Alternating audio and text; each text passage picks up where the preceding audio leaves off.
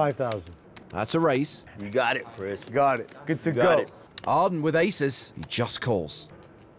He calls as well. Sorrentino has kings. Bets to 18,500. He does fold. He just calls.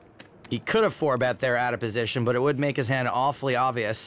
Theo calls as well, making this a three-way party. Well, things just get better for Ardon. He flops a set. Theo is double gutted. Action check to Sorrentino, and he checks behind. Seven on the turn. Ardon leads for 28,000. 28. Action on Theo. Well, Theo elects to call. He folds the kings. And it's a full house for Ardon. All in. He shoves on Theo. Like most team pros, has played more EPTs than you've had hot dinners. But there has to be a first time for everyone.